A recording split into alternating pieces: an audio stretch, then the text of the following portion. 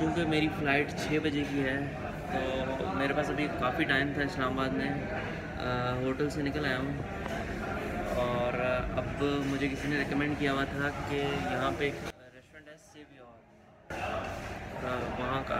तो मुझे मौका मिल गया है और मैं आ गया हूँ। मैं इस वक्त फैमिली हॉल में हूँ। आप लोगों को मैं पूरी वीडियो दिखा सकता हूँ। बाकी मैंने सुना है कि बहुत अच्छा इसका खाना। है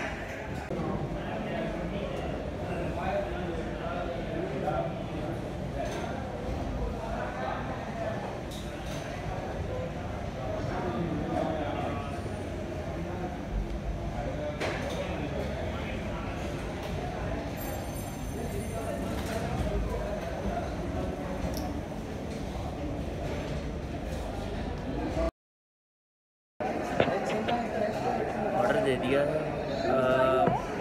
मुझे जितनी इन्फॉर्मेशन मिली थी इस हिसाब से यहाँ का पुलाव सबसे बेस्ट है और इनका सबसे रनिंग आइटम है। तो ऑर्डर कर दिया है, आके दिखाते हैं कि क्या आता है।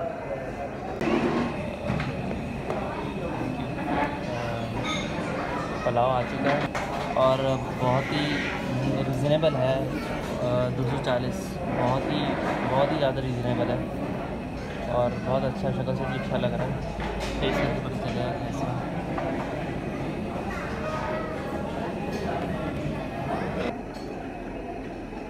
पुलाव बहुत ज़बरदस्त है।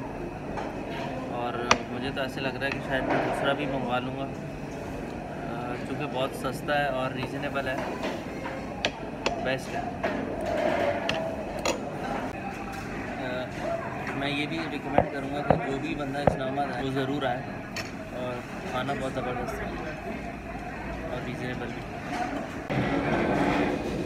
खाने के साथ साथ एक और चीज़ का ऑर्डर दिया था मिंट मार्गनीटा मिंट मार्गरेटा और शक्ल से तो बहुत ज़बरदस्त लग रहा है और चिल भी है।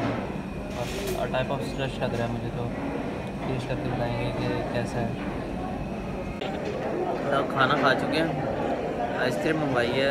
आइसक्रीम भी बहुत ही ओवरऑल रेस्टोरेंट में हर चीज़ बहुत ही रिजनेबल है।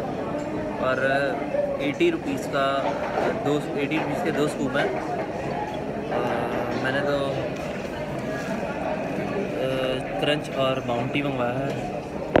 और बाकी ओवरऑल बहुत ज़बरदस्त है।